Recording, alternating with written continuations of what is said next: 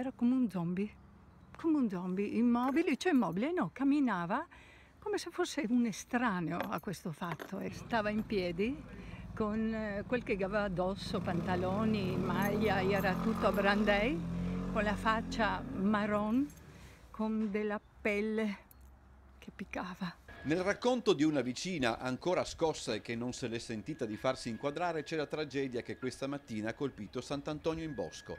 Erano passate da poco le otto quando un boato potentissimo, sentito anche a chilometri di distanza, ha destato bruscamente gli abitanti della frazione. Una casa, al civico 114, è letteralmente saltata in aria.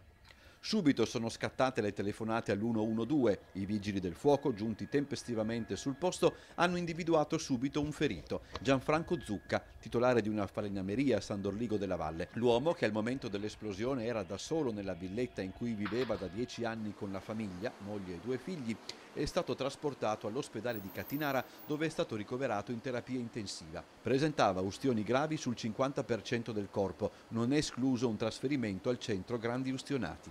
Polizia e carabinieri hanno avviato subito le indagini per stabilire le cause dell'esplosione che ha provocato ingenti danni anche alle abitazioni vicine. Nessuna pista esclusa. Al momento si parla di una fuga di gas. Acegas APS Amga ha escluso ogni criticità nella zona, anche sulla base di recenti controlli, laddove in paese molti avanzano l'ipotesi possa essersi trattato di un gesto tragico.